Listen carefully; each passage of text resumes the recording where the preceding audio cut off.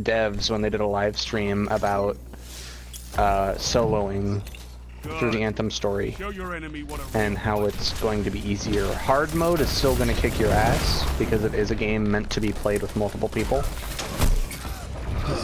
But uh, if you if you want to play alone, normal normal should be You're.